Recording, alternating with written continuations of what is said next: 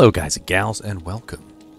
So today we're going to be going over a rather interesting item and that is Bonehew. Bone Hew is a pole arm that is rather unique. Uh, it is a, it is an interesting pole arm to say the least. Um, and we're going to go over it today. And I have two different versions of the uh, Bonehew. I'm also running the ethereal version on uh, my mercenary and I have the uh, non-ethereal version on me. And uh, first, let's go over the statistics of this particular item. So uh, right off the bat, you see 117 to 609 damage, and uh, if we pull up the ethereal, you'll see that the ethereal version has 176 to 911. So a pretty large difference in damage there between the two versions, but not a lot on the bottom end because this weapon has a very low bottom end damage, which means the, the, the spread between the damage is going to be very high. The next thing we're going to look at there is the level requirement, which is level 64. It's not bad. Um, it's a rather low level item, but unfortunately, when you get to the strength requirement and the dex requirement, you realize, hey, it's actually kind of ridiculous. Um, with a strength requirement of 195 on the non-ethereal version and a strength requirement of 185 on the ethereal version, um, the good luck getting a level 64 mercenary to actually use this item, and good luck using this item on a character either.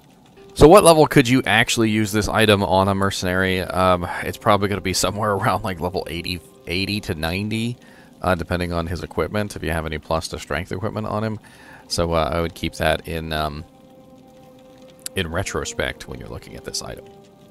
Uh, now, it does have a lot of interesting things, um, and obviously if you have the ethereal, you've got 10 less strength and dex requirement. The dex requirement is next to nothing. Most people have 65 dex, uh, but 185 strength on the ethereal item is still a lot. I'll put that to good use. Uh, we also have a 30% increased attack speed, which is static, so we're going to get that on uh, all the items. Uh, we have a prevent monster heal, which is very, very nice, and uh, unfortunately does not work on mercenaries, so do keep that in mind. Uh, prevent monster heal will cause the monsters to not regenerate for 20 minutes, which is a really long time. Um, the enhanced damage varies between 270 to 320%, so there's going to be a very large variance uh, between the two. Um, you're talking about 70 to 80, 80 to 90, 90 to 100, 100 to 110, 120, so it's about a 50% uh, variable between the two. And um, if, especially if you find an ethereal version, uh, the small amount of ED is going to add up to some pretty big numbers on the top end. On top of that, we also have a very interesting effect of 50% chance to cast level 16 Bone Spear on striking. And, um, and this is a very interesting effect because it is essentially just raw magic damage being added to your attacks. Um, and at a 50% chance, uh, we are looking at just an amazing amount of piercing damage, which is going to go off like on a regular basis. Um, so we're looking at 154 to 162 bone spear damage, which is magic damage, which is unresistible, by the way. Uh, so most monsters will have no resistance to the bone spear effect. And unfortunately, it does not work on Whirlwind. Whirlwind uh, will not proc effects. So we've got to use something like, uh, we'll use uh, Bash. And as you can see, uh, the Bone Spear actually pierces the targets. So when you hit a target um, and the Bone Spear comes out, you will notice that it just pierces straight through to the other side and damages everything on the way. Now, is this damage like the most amazing damage in the world? No, it really isn't. But it is an extra magical damage which pierces through multiple targets, and it will proc all the time. With a, uh, a proc chance of 50%, you're going to see it pretty much all the time.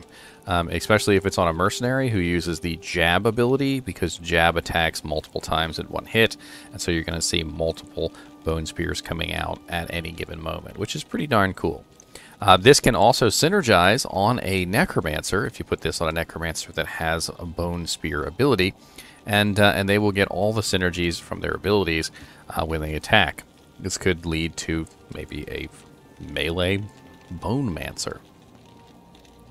Uh, we also have another ability here, which is in the form of charges, and that is level 14 Corpse Explosion. So, Corpse Explosion is one of the most power, uh, powerful abilities, I think, that uh, Necromancer has, because it does a massive amount of damage based upon the monster's health, and it doesn't really matter what level the corpse explosion is, it always does 70 to 120% of the monster's health in two forms of damage. 50% of it is physical, and 50% of it is uh, fire. So if a monster is not immune to physical or fire or both, you can usually kill them with corpse explosion. Uh, it usually takes a couple corpse explosions because the um, amount of damage that they do and the resistances that they have come into play. So generally around like three to four corpse explosions is usually enough to kill an entire pack of monsters. Especially if you have something like amp damage running, uh, which is uh, which is very nice. So on Corpse Explosion, what goes up with the level if not the damage? Well, that's the interesting thing. So Corpse Explosion goes up by the radius that the explosion affects, which is rather big. At level 1, it only has a 2.6 yard radius, which is really only a melee range. Um, but at level 14, which is what uh, what this is, we're looking at a 7 yard radius, which means that it is going to hit really far away. Um, and, uh, and believe it or not, this is actually something that you can use in combat. So if I were running around in combat over here, and there were a couple corpses on the ground, I could use these corpses to kill everything nearby.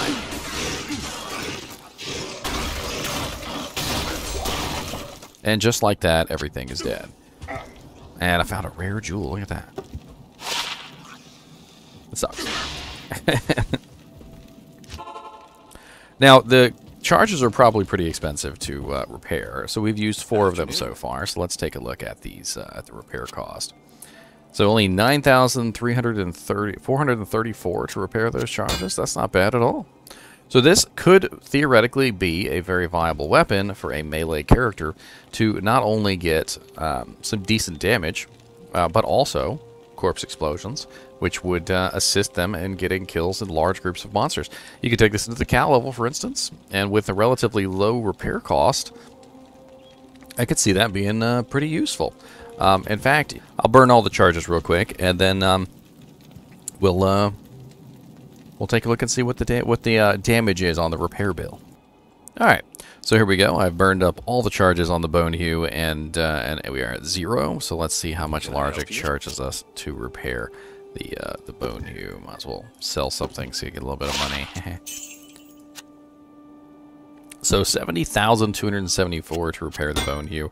uh, with zero charges. That's actually not bad at all, and quite honestly, I could totally see using that in a cow level, uh, sparingly, of course, to soften up the cows, specifically for the purpose of, uh, you know, just, just making things faster.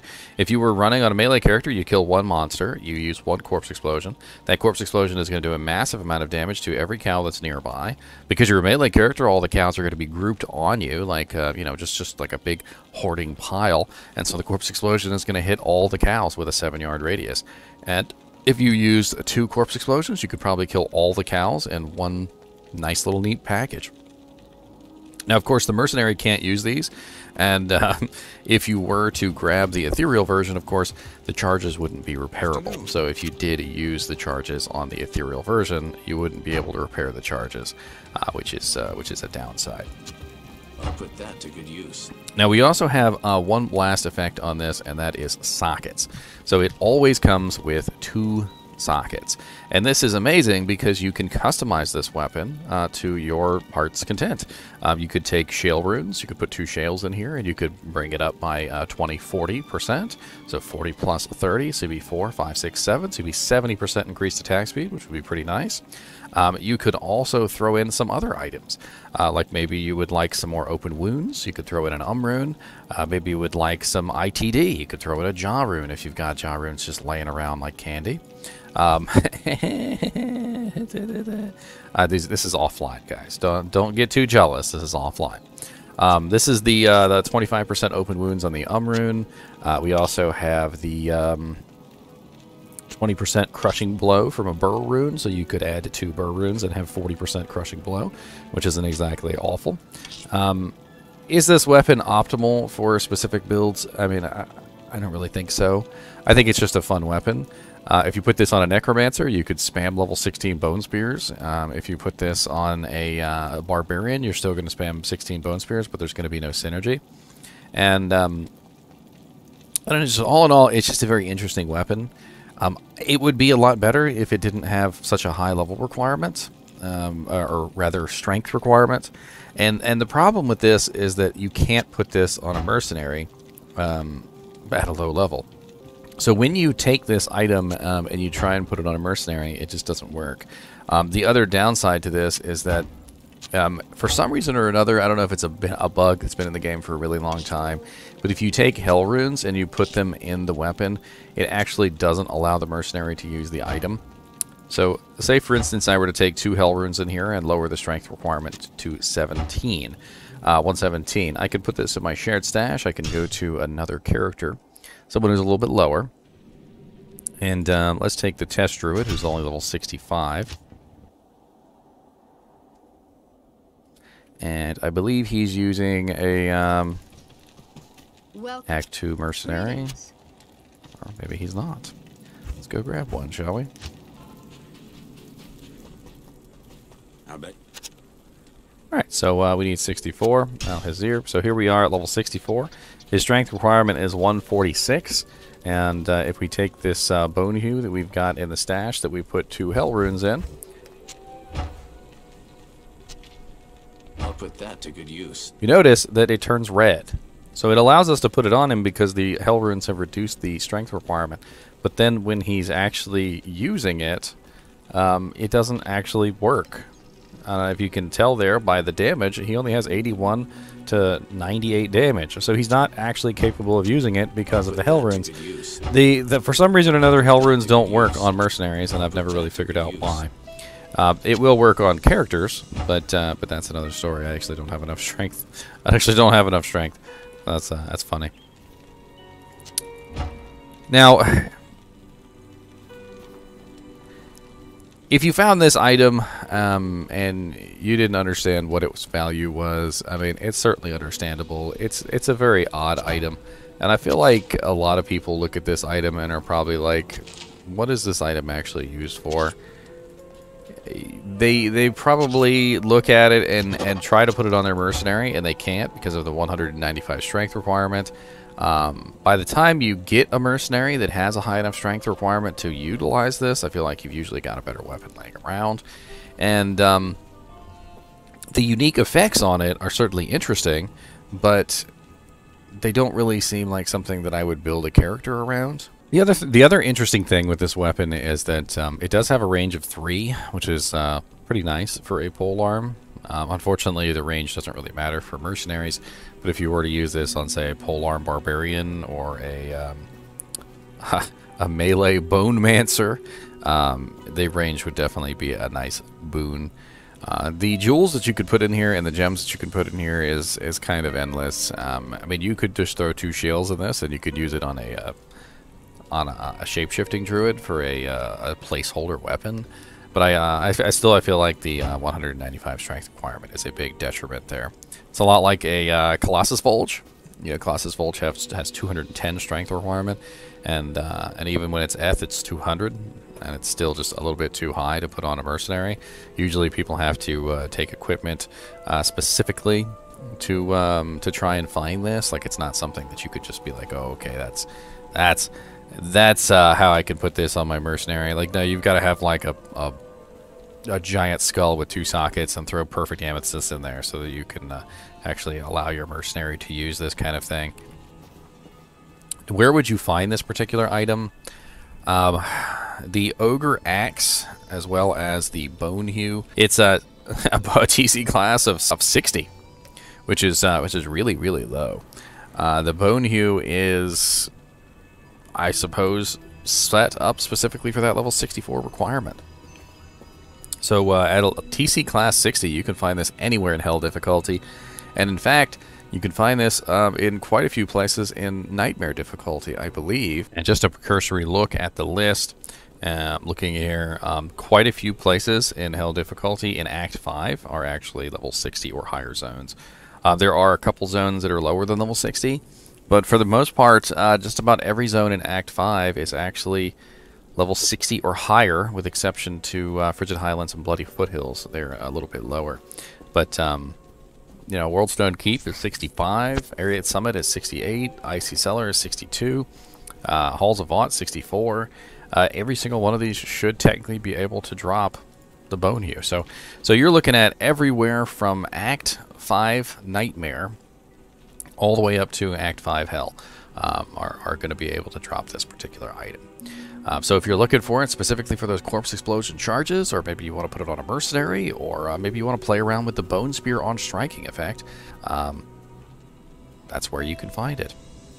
Um, as always, I do appreciate you guys and gals watching my videos, and uh, I hope to bring you a whole lot more unique item videos in the future, so keep watching.